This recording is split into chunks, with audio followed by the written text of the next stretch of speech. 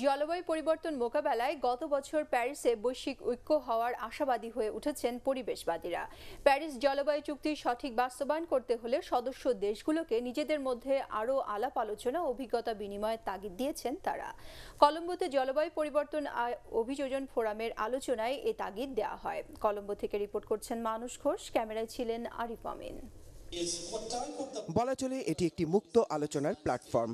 এখানে বিজ্ঞানীরা আসছেন তাদের সবশেষ সিদ্ধান্ত জানাতে, সরকারি নীতি নির্ধারকরা স্পষ্ট করছেন তাদের নিজ দেশের অবস্থান। যারা মাঠ পর্যায়ে কাজ করেন, তারা জানাচ্ছেন সাধারণ মানুষের ভয়াবহ অবস্থার কথা। আর এসবই হচ্ছে জলবায়ু পরিবর্তনের ফলে বিশ্বব্যাপী দেখা দেয়া নানা সংকটের কারণ অনুসন্ধান করতে যেয়ে। আলোচনা হচ্ছে, কি হচ্ছে? কীভাবে সঠিক পরিকল্পনা করা যায় জলবায়ু পরিবর্তনের জন্য, বিশেষ করে অ্যাডাপ্টেশনে এর অর্থ আসবে থেকে যারা অর্থ দেওয়ার জন্য দায়ী, তারাও এখানে আছে।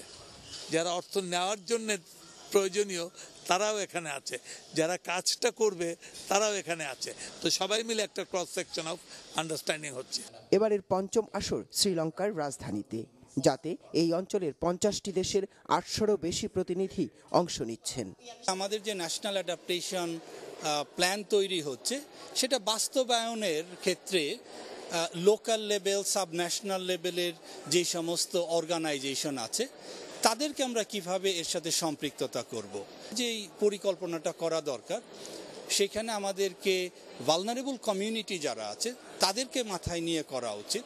আগামী মাসেই মরক্কোয় অনুষ্ঠিত হবে জলবায়ু সম্মেলনের পরবর্তী আসর। সেখানে আন্তর্জাতিক পর্যায়ের দেন দরবারের আগে কলম্বো ফোরামে এশিয়া প্যাসিফিক অঞ্চলের জলবায়ু ও পরিবেশ বিশেষজ্ঞরা নিজেদের মধ্যে আলোচনা করে প্রস্তুতি সেরে রাখতে পারলেন। বৈশ্বিক উষ্ণতা বৃদ্ধি দুই ডিগ্রি সেলসিয়াসের নিচে নামিয়ে আনা সহ প্যারিসে জলবায়ু সম্মেলনে গত বছর যে চুক্তিটি হয়, আগামী মাস থেকে সেটি কার্যকর শুরু হওয়ার কথা রয়েছে। এই একটি মাত্র চুক্তি জলবায়ু পরিবর্তনের ঝুঁকি মোকাবেলায় ছোট, বড় বিশ্বের সবগুলো দেশকে ঐক্যবদ্ধ করেছে। প্রসঙ্গটি তুলে এখানে ফোরামে আসা এশিয়া প্যাসিফিক অঞ্চলের পর্যবেক্ষকরা বলছেন, পৃথিবীর আসন্ন জলবায়ু পরিবর্তন ঠেকাতে প্যারিস চুক্তি বাস্তবায়ন খুবই জরুরি। মানুষ ঘোষ, এটিএন বাংলা, কলম্বো, শ্রীলঙ্কা।